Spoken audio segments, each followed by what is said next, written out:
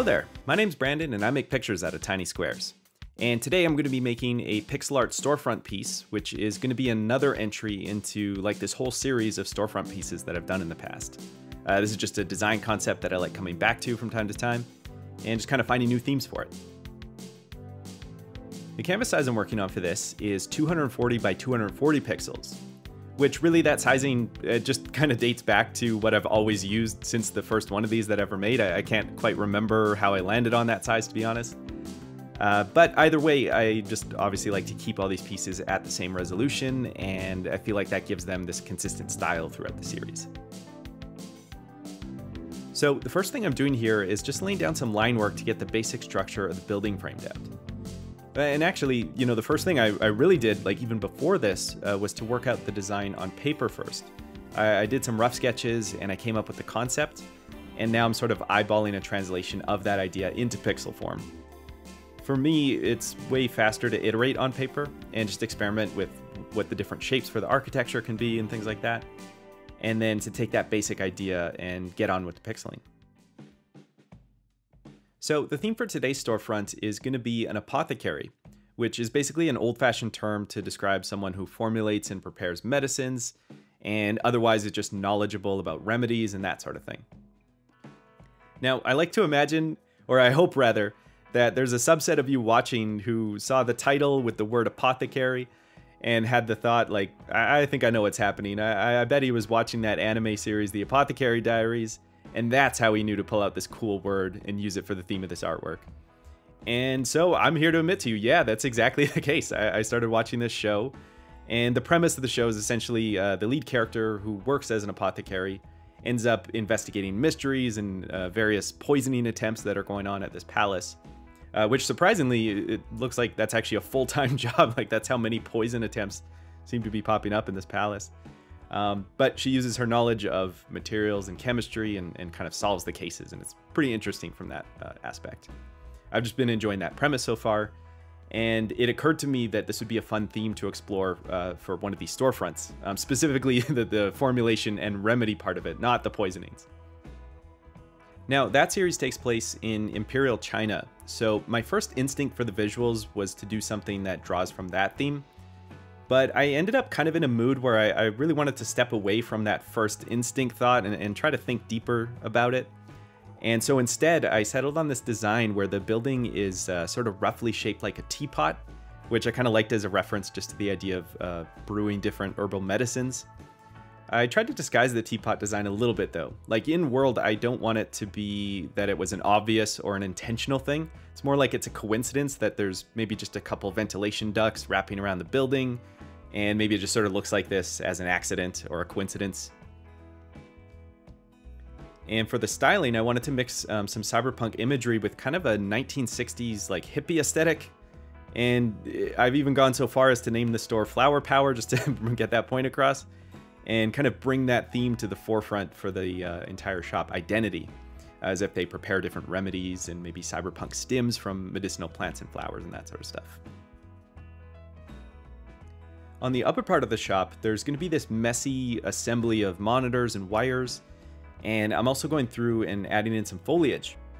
The way I like to do this is by shaping in a silhouette using a square brush, uh, and by that, I actually mean a, a, brush that's like a 2x2 or a 3x3 pixel size brush. And you can kind of broadly, you know, paint in these, these jagged or sharp sort of points that sort of feel like leaves. And so after that silhouette is in place, uh, I'll take one of the lighter colors and then draw in some highlights that follow the direction or the point of those leaves. And in this case, I've also finished off uh, that whole look with some small flowers kind of dotted around everywhere. The color palette that I'm using for this piece is a custom set of colors that I came up with before starting the pixel art. And that way I could just kind of hit the ground running um, and just focus on the pixel art. It's kind of like having the rough sketch in that way, I guess. There's just a lot of prep that you can do before sort of formally starting the artwork that feels like it just makes your life easier along the way. And for me, having a palette already set is one of those things. The way these colors work is that there's kind of the, the pinkish color as the middle tone, and then I've given it two steps of shade tones, which uh, kind of lean, you know, into purple. And then there's two steps of highlight tones on the other side, which go toward this uh, peach sort of coloring. Normally for these storefront pieces, I'll also choose an accent color that's like a strong contrast to what the main color scheme is. And for this case, that would be the kind of lime green that I've selected here, which I thought kind of opened this up into like that 1960s psychedelic sort of look to it.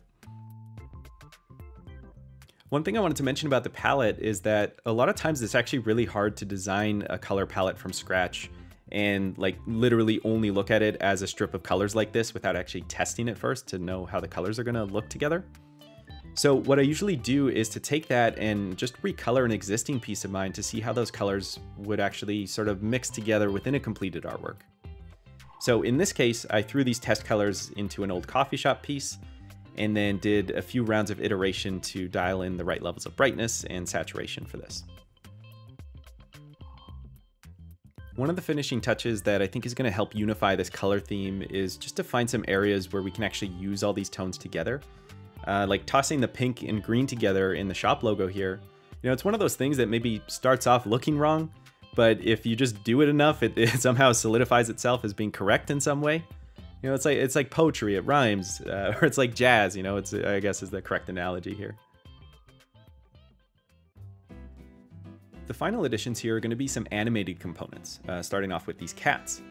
So I've got two black cats, and, and, they're always a staple of these pieces. And what I did this time was I just uh, grabbed their animations that I've already made from the last time I did a storefront piece. So I had all that tail motion ready to go. There's kind of no use like animating that from scratch every time. In fact, maybe the last time I did it, I might have borrowed those two. I'm not actually sure. Um, and then we of course need uh, the robot shopkeeper. So I'm quickly blocking in a shape here for that. And I'm planning on having a lot of motion on the screens near the top of the piece. So I'm going to keep the animation for the robot pretty simple and just do, you know, kind of a basic bobbing up and down. But he's got a few wires connected up, and I think it looks pretty cool just to see those moving along as well. I'm going to finish this up with uh, some of the details on those screens and, and just a few other things.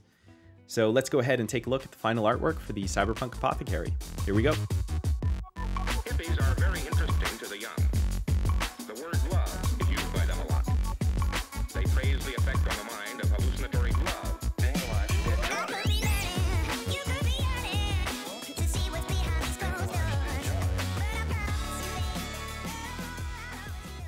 All right, well, there we have it. And uh, I think it came out with kind of a refreshing vibe for this series of pieces.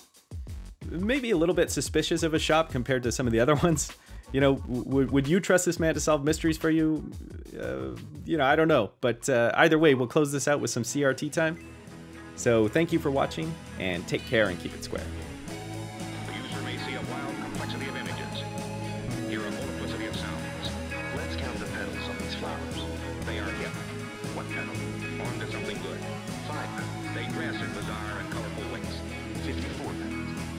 It's a secret.